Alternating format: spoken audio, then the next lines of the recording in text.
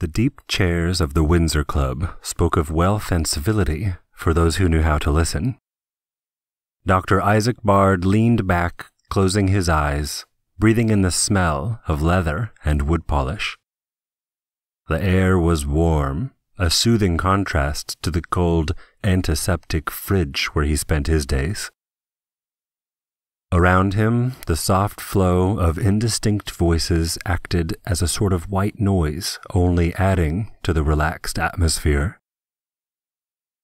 He considered ordering a meal from the top flight kitchen or a glass from the extensive wine cellar.